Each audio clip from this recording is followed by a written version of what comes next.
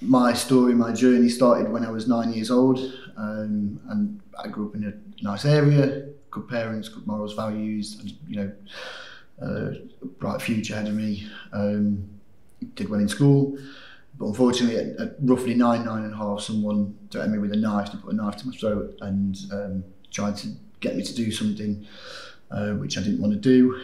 Um, lucky enough, I managed to get away and run off. Uh, told my parents. Unfortunately, all that happened from that was my parents told his parents, um, and then next time I saw him, he threatened me again because his knife got confiscated off him. So, not knowing the implication of that, I, you know, carried on my journey of life. And when I went into school, I had an attraction to negative peers, you know, the gang lads, the people that were taking drugs, the people that were up to no good. There was certainly an attraction for me. So when I was invited to go and first of all was smoke a bit of cannabis, I was really open to it. Through my years at school, it was kind of started selling drugs in school. The older um, people, the adults, because they were adults, were sort of saying, you know, sell that, do this, do that.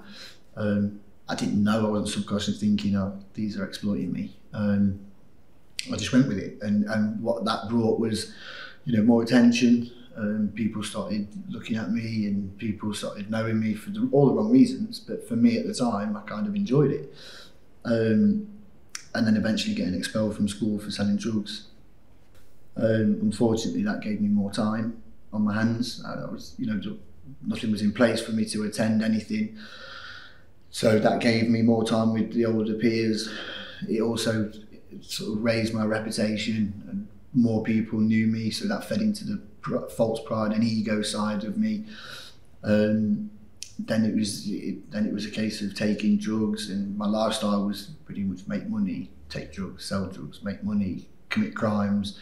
And then I did start carrying a knife. Um, if I look back at the reasons why, you know, I'd say protection back then. Um, I don't know if it was all about protection, if I'm honest. I think some of it was kind of safety aspects, ego, um, and culturally as well. It's something I think, you know, for me, putting my knife in my pocket in the morning to go out of the house was the same as putting my shoe trainers on. And putting a certain pair of trainers on as well. That was another thing that there was a culture within that lifestyle of knives of it's not just about any old knife. You know, there would be like an ego status thing where it's, you know, I'm carrying this kind of knife you know, and you'd be meeting your friends that would be carrying a knife and they'd be showing their knives. And again, it's that ego stuff, mm. a clashing of egos going, well, mine's this big and yours is this, just that one. Then they'd want to go out and get one that's better than yours. And so um, it very much was a, a, cultural thing that get up in the morning, get changed, carry the knife, and you go about your day.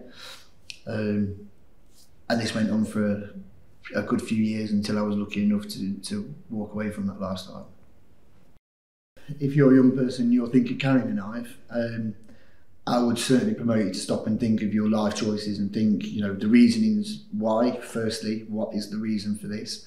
And be honest with yourself. Be honest to people around you, trusted people, about why you're carrying a knife, because that's then walking into what I say the solution. You know, there's always a solution in my eyes. You know, if you're saying you're carrying a knife as protection, well, let's look at why you feel you need to be protected what is it that's happening? Why do you feel unsafe?